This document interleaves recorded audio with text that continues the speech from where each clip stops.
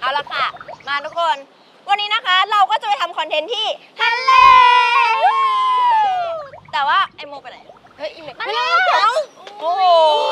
ไลฟ์สดแจแจกกอะอะไรไรแยะเนี่ย กว่าจะมา เอ้า เอาไปเก็บของรถรีบๆโอ๊ยรีบๆไปไปไปเนี่ย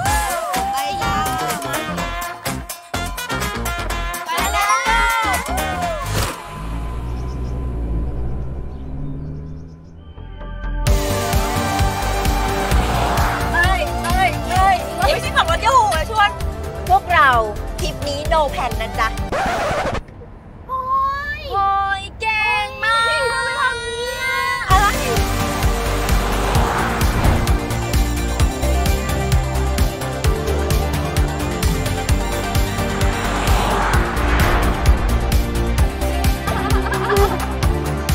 เฮ้ยกินไม่เติมน้ำมันเหรอ ทริป No Plan ลืมเติมน้ำมันตั้งแต่เริ่ม แบบนี้เอายังไงดี